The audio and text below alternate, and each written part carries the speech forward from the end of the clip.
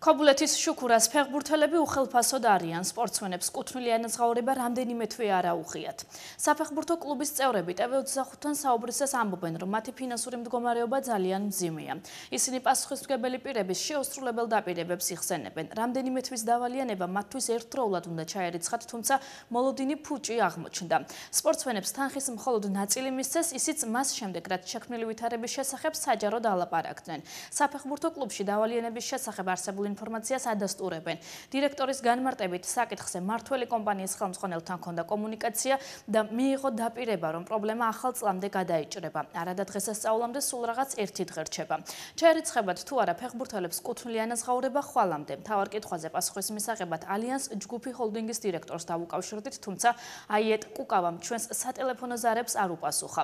ცნობისთვის გუნდი ოფიციალურად შეკრებას 2023 წლის 10 იანვარს იწყებს. შექმნილ რეალობის გათვალისწინებით კი ფეხბურთელები ვარჯიშებზე მისვლას არ გეგმავენ და სხვა გუნდებიდან შეთავაზებებს ელოდებიან.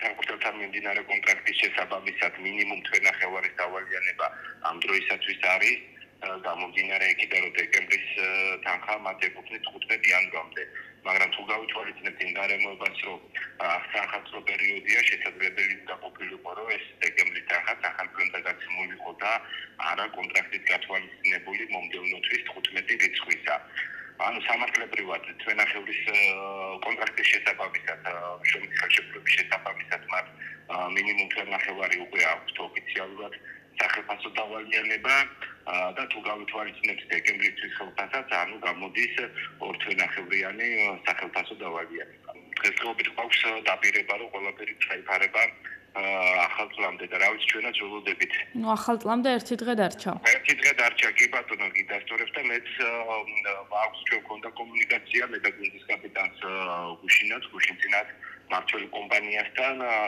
და ვიცით რომ მათი განმარტება იყო ბატონო აიცის განმარტება იყო აღნიშნულთან დაკავშირებით მუშაობს და მაქსიმალურად შეეცდება ახალ პლანზე გასცეს ეს